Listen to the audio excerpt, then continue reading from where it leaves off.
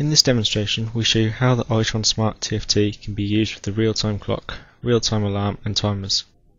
This demonstration also illustrates the ability to use calculations and draw commands to represent the time in an analog format. To change the real-time clock you need to touch the clock. A menu will appear to show the date and time. Edit these by using the plus and minus keys. Once completed, press save, where you can return without accepting the changes by touching exit.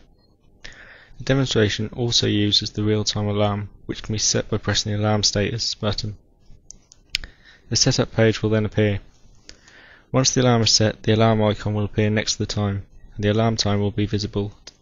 To turn off the alarm, press the alarm status button.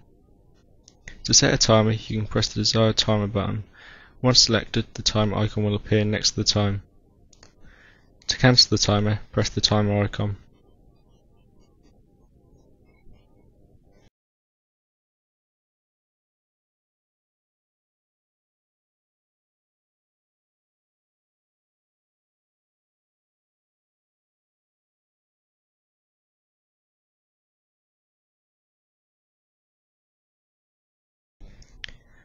This demonstration, as well as all the others on this page, can be downloaded from the example project section